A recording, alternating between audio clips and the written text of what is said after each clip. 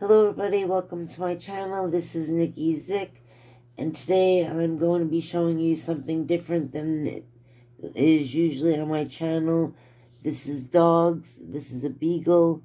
I've been playing around with different breeds and having a lot of fun. And here's a whole sheet that I did of all different poses of beagle dogs and the the shades of the three colors to make the dog interesting was really fun to do.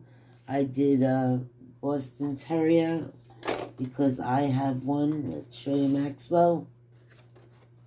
Here's all Boston Terrier positions. I also did, what else? Let's see. I did, uh, I did a lot. Here's some fun poodles I did.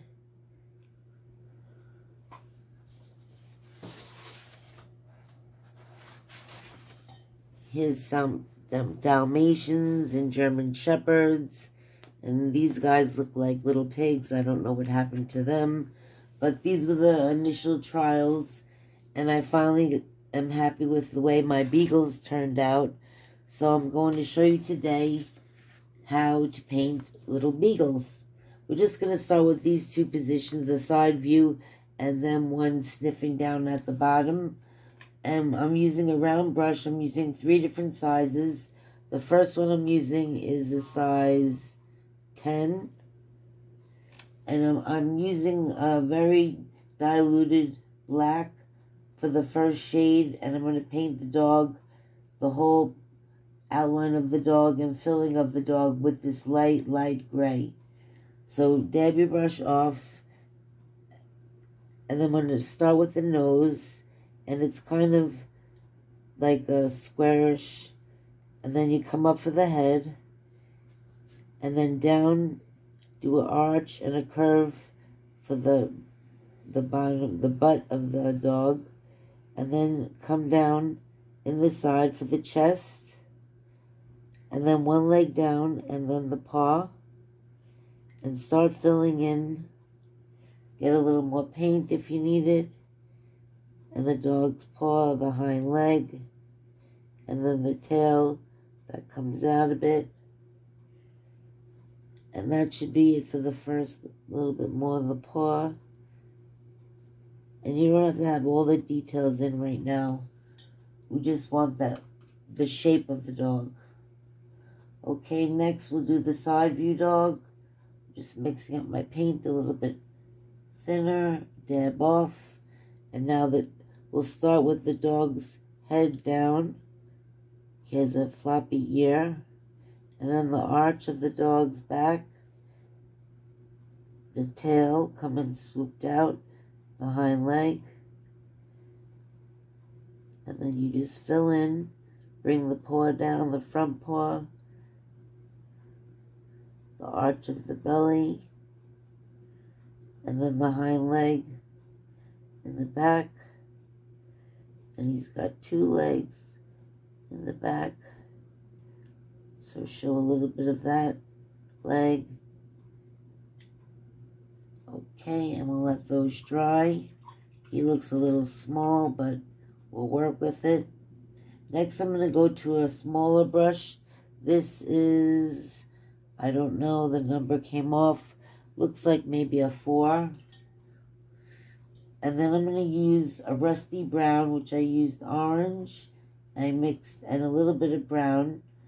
And it gives you a nice orange, like a rust. And you want a very thin consistency with a lot of water because we're doing overpainting now. So for the first dog, we'll do the shape of this brown around his leg, come down the arch of the back with the brown, and up the tail a bit. Okay, and then we'll go to the second dog. He's got some brown on the top of his head.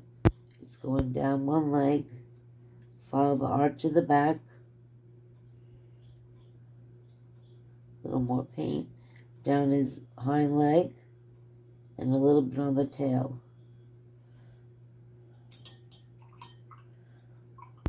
Okay, as we're letting that dry, we have to mix up a nice brown for the third color.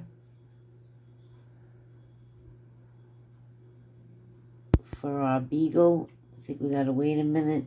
In the meantime, we could put our little freckles on our beagle. It's got three little freckles. Three little freckles. We can also paint in the nose and the eye. Well, actually, we'll paint the nose. The nose is like a little squarish rectangle here. This one we're going to cheat and do it outside. His face is a little small. Okay, then we'll go with the darker brown for our last shade on the beagle.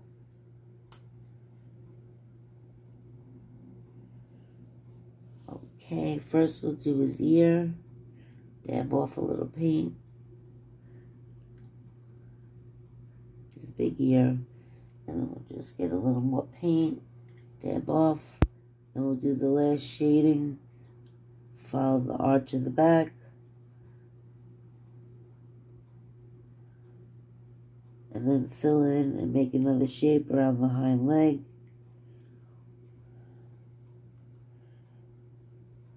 And we'll do the other beagle. Actually, let this dry a bit. I'll give some shading for the other paws that are there. A little dark for the other paw in the back and leg. Just giving it another coat of gray.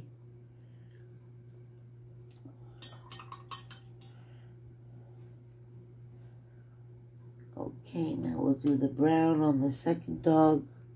We'll do his ear, which I painted already in gray. And then the arch of the back, a little more paint. Arch of the back of the dog. And then you make these shapes. I think this dog is still a little wet. It's bleeding a bit. But last thing we need to do is add an eye on each one.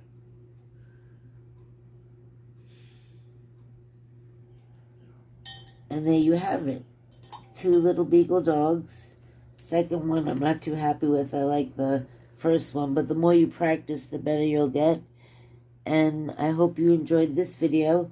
If you're new to the channel, please hit subscribe and if you like the video, give it a thumbs up. Thank you and bye-bye.